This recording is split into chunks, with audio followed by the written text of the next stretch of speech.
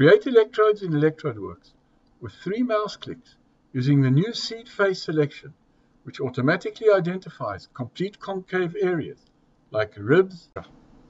Select an electrode holder. Select the part. The electrode direction is automatically defined. Select a seed face from a rib. The electrode is previewed and created. With the Copy Electrode menu, we can find similar burn areas automatically.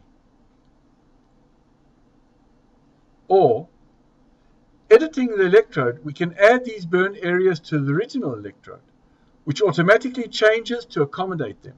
Again, using just the seed face selection. We've added a different rib as well.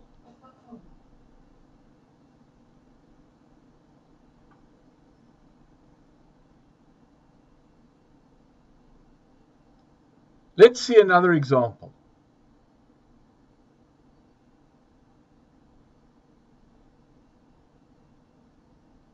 Here, the burn face is not so obvious, but the software still finds it.